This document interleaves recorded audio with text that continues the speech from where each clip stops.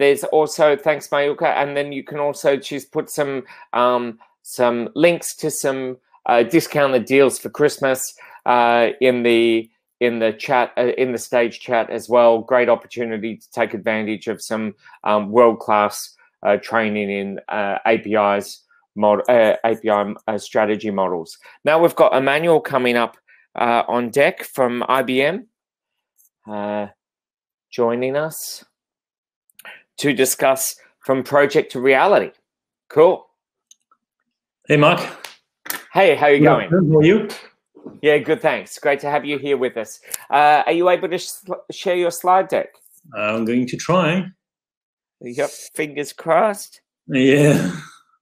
So we've Looks got like um some. a few times lately with this. Uh, Yeah. There's, I think there's a lot of. I think it's just a lot of use of the um uh of hopping around the world and Yeah. with our with our numbers of the audience as well. Great. I think you're almost set. Just heading to presentation mode. Okay, perfect. I'll jump off. Thanks very much. Looking forward to hearing you. All right. Well, uh, thank you, thank you very much, Mark, and uh, thank you very, very much, everyone, for for attending this session. Um, you know, I, I know that we we are arriving towards the end of the uh, the conference, so I do hope you had a good one. Um, you know, at IBM, we we uh, we are a great fan of uh, API days. Uh, we've been uh, sponsoring and participating to many of them around the world for many years now. And uh, really, one of the reasons why we think it's a, it's a great conference is because it really does bring together both uh, technical focused people as well as people that have much more of a, a business uh, direct business objective into into their job description. And in fact, I think that is possible simply because uh, you know APIs are, are all about that. Are really about uh, uh, bringing IT and, and business together together to to deliver uh, superior uh, client experience. So uh, I hope you you, you had a, a- good moment for these three days.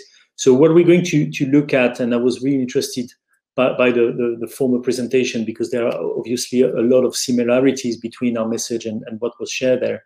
And what I wanted to do today is really to to go through a mix of uh, uh, uh, approaches to to deploy uh, API project as well as uh, give you giving you some examples of what uh, some of our clients are doing and trying to cover some some diverse industries. Um, you know, uh, here I'm kind of a, I'm preaching a, a, a, group of convinced convicts. Uh, I'm sure. Um, you know, uh, APIs are, are the glue between the data and the application and what we're trying to do uh, uh, to, to deliver uh, superior client experiences. Uh, you know, APIs are kind of exploded over the five, five, past five years, and um, a- and it is something that is really kind of fueling the digital transformation as we know it. And and when we look at, at APIs, uh, uh, no matter how, how we look into it and, and, and what, what they, they, they are meant to do, you know, there is one thing that comes back all the time, which is speed, and speed is really of the essence here. And I'm not so much talking about uh, uh, uh, performance and, and performance of an application. What I'm talking about is really uh, agility and the reactivity uh, to to to uh, uh, uh, to be able to respond to a business need. Uh, that business need being brand new or being simply a kind of a change into what what was needed before and after. And and you know we all went through this uh, year 2020 that will remain in history as a as a as a, a different year to put it that way. And and you know that all of our organizations had to adapt very very fast. And uh, i'm not you know i can mention this kind of click and collect and the fact that people started to buy uh, uh, things remotely much more than before. You know the fact that we had to work from home the fact that so you know many things like it so so we had to adapt. And and apis are all about uh, this kind of way to, to adapt very fast to to, to a, a changing world. And speed and being agile is one thing but but but it is not easy. And uh, that is why uh, we you know there's a lot of surveys that show that usually when we try to to integrate applications because you know when you look at a, an api there's a lot of integration that is happening in the background. You know these kind of uh, uh, application pro- uh, uh, projects are, are more often than not failing because it's hard. It, it's really hard to to bring together uh, applications that live in a public uh, in, in a public uh, uh, cloud, in a private cloud, in a mainframe, and so on and so forth. And and that is why, you know, embarking into an API project and really looking at the the agility is a good thing, but we need to look at what's happening behind and, and is not something that is always easy to do. And that is why one of the things we say is uh, we have to be prepared to fail and to fail fast. And um, uh, that's also the reason why I relate to what was said in the presentation before. Is uh, here we are really referring to uh, agile methodology and this idea of iteration. Okay, so when you look at the kind of the four pillars of um, uh, of uh, a project, uh, an API project lifecycle, you know the two ones that really uh, we're looking at here of course uh, beyond the creation and, and, and securing your api is that you need to have the ability to understand what is going on with your api making sure that you know which functionalities are being used which functionality are not being used or, or, or simply that an api that is catching like fire and that is being used a lot, and another one that you thought would be a success that, that suddenly is not. So you need to have the, to, to monitor that monitor that carefully and have the tools to uh, uh, uh, to help you making the decision and be prepared to uh, uh, create uh, new releases of, of, that application. And the last the last pillar of these kind of four pillars is socialization when you when you deploy uh, an API, you need to think about it like a uh, like a product. Okay, so uh, like any any product, you're going to commercialize that, and you can develop deploy the best product in the world. But if nobody knows about it, and if nobody can can reflect and and and, and use it properly, if it if it's not easy to use, if it if it is not uh, well documented, uh, then even if it's the best API or product in the world, nobody will use that. So that's why I think we overlooked a lot at the beginning of, of these APIs, this aspect of uh, uh, uh socializing uh, the APIs, you know, making groups, making sure that there were forums ar around that, and, and simply with a view to make it known and used. Uh, if you don't do not do that, I think you, you, you're missing a big a big point, and you, you may as well have one of the best API in the world that nobody will use. So th those are the things. So fail fast is kind of a, a very important point.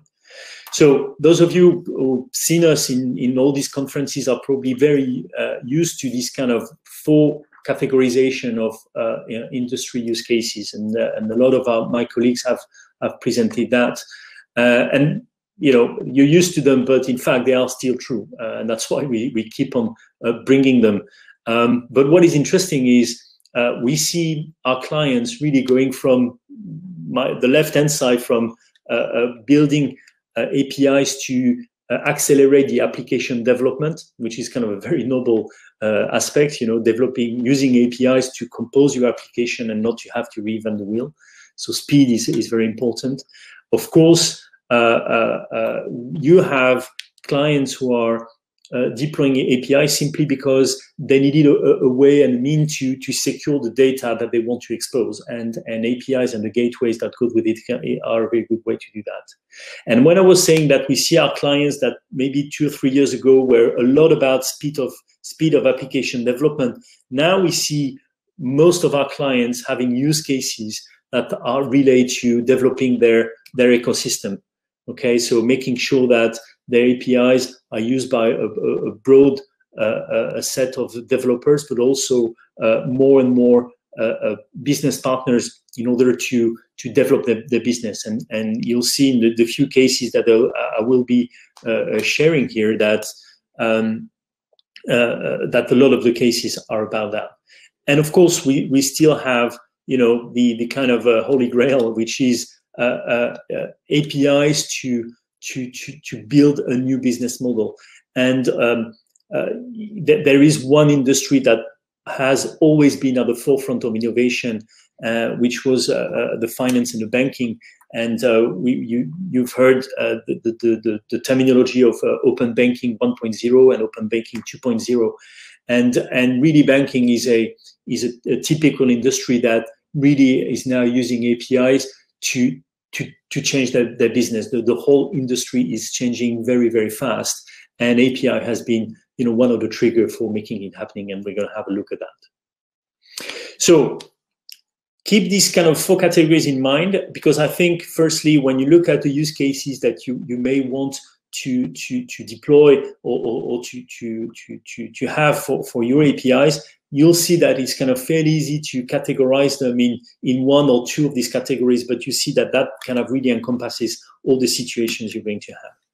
So to give you some examples and really kind of, uh, uh, they're, fairly, fairly random and we'll, we'll go uh, into others, but kind of a first set of them, uh, taking some very uh, standard industry and say, you know, nothing hugely innovative, but Royal Mail is, is, a, is, is a good um, example of a, of a company that, that, that is in an industry that, you know, had to change radically. Uh, you know, La Poste in France, Royal Mail, uh, and, you know, all the, the, the Poste Italiana and, you know, all, all these similar, similar uh, companies in, in each country are going through you know massive changes and uh, and and they're really fighting to to remain relevant. And um, you know Royal Mail uh, like others they, they realized that of course uh, they had huge assets and assets that were uh, uh, that, that could be relevant as long as they could be used by as many partners as possible. So when you look at the the, the APIs that they have developed you know they, they can they can seem like being very basic uh, you, you, know, the API that based on the postcode that will give you all the collection points uh, from the Royal Mail that you will have in that area. You know, that's a kind of a basic idea. You know, the other one that track and trace a delivery parcel is, is a basic one as well. It's not so simple actually to implement, but once you have it, the idea uh, can, can, can, can be seen uh, uh, obvious. However, the challenge was uh, how to, to, to make in the past, before they had APIs, their challenge are how to make these kind of uh, uh, applications integrated with what their business partner were doing. And now that they have developed these APIs, it becomes extremely easy for their business partners to reuse those services and to embed that into, into what they're doing. So I really encourage you to have a look at the Royal Mail Developer Portal. Uh, if you Google that, you'll find it very easily, and you'll see a kind of very well done, a very simple, uh, uh but with a, with a great design Uh, uh, um, portal, develop, developer portal, where you see these APIs. So you see that, you know, uh, uh maybe from some ideas and use cases that are fairly simple, the value of the API is, is really in making uh, this, this kind of link between the application and what, what, what you need to do. The second one is uh, at the bottom is, uh, is, a, is a retailer, is a supermarket chain. And, and these guys, they really wanted their franchises to become autonomous they really wanted to to to, to foster that idea of uh, of entrepreneurship into into the franchises. So the only thing they had to do was to make sure that that the franchises get access to to the catalog and to the stock levels. And I was at the beginning at least as simple as that. And as soon as they, could deploy those APIs and make them available for the franchises, then they really could push uh, uh, the franchises to to to really uh, develop their business based on the countries they, they, they were based on on the kind of the local needs they have and and really develop application that would uh, really reuse the stock uh, and and the um, uh, the catalog of of the the, the main company. Uh, now you've got very small organization and here actually we're talking about fairly fairly sizable but even even bigger looking at this uh, railway organization. And and these guys what they did was they they had different line of business uh, that worked with many many different uh, uh, developers, clients, and and uh, and partners, of course.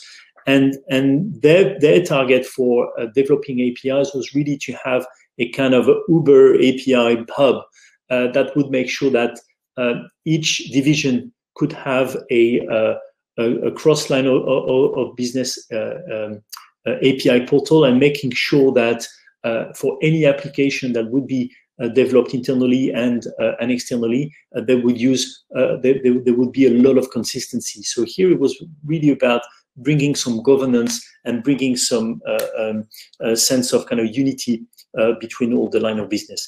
And here we're talking about APIs that are simple as, uh, again, you know, uh, train timetables, but also about more technical APIs like two-factor authentication that that had to be used by, by everyone. And I, I kept the, the last one here, like for for for for uh, for, for, for, last uh, the the open banking one, and it's a little bit of the elephant in the room. So you, you are uh, most of you, I think, are, are aware that um, uh, the banks were, were, really at the forefront of innovation when it comes to API.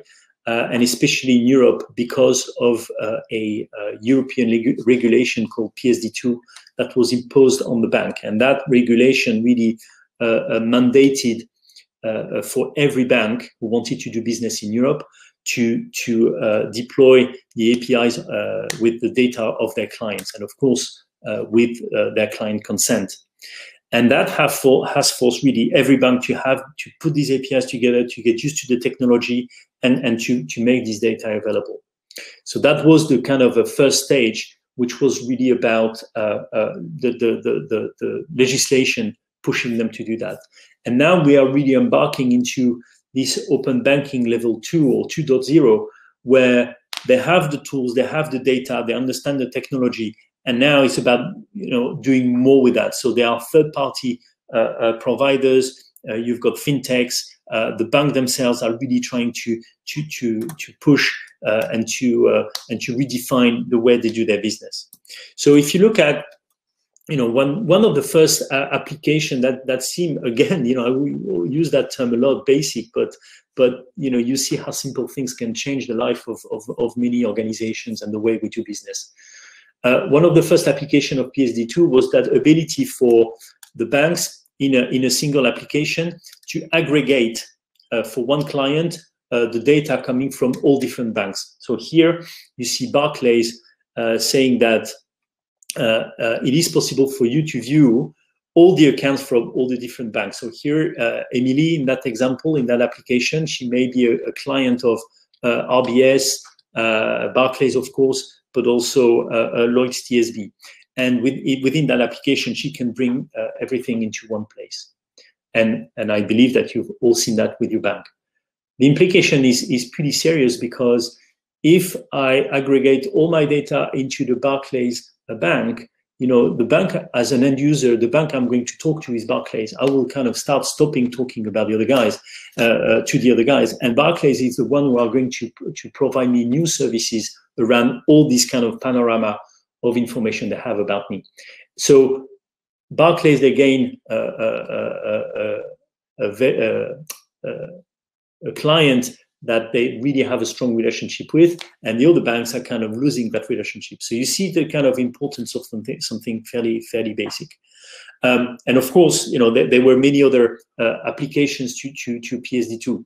But looking at uh, the, the version 2.0 uh, and giving you an example of uh, BBVA here, uh, what BBVA did, you know, once they had these uh, regulatory APIs up, uh, they can really, uh, in some instances, and here we're talking about uh, uh an example in, in, in, Mexico, where BBVA and Uber kind of uh, fostered a partnership where uh, Uber is now able to get his, its drivers and even the family of these drivers to create a digital account and to and to get in a matter of minutes kind of a, a debit card uh, for, for, their own usage. So the end user is interacting with Uber. Uber is providing that service, which is powered by the APIs coming from BBVA in the background.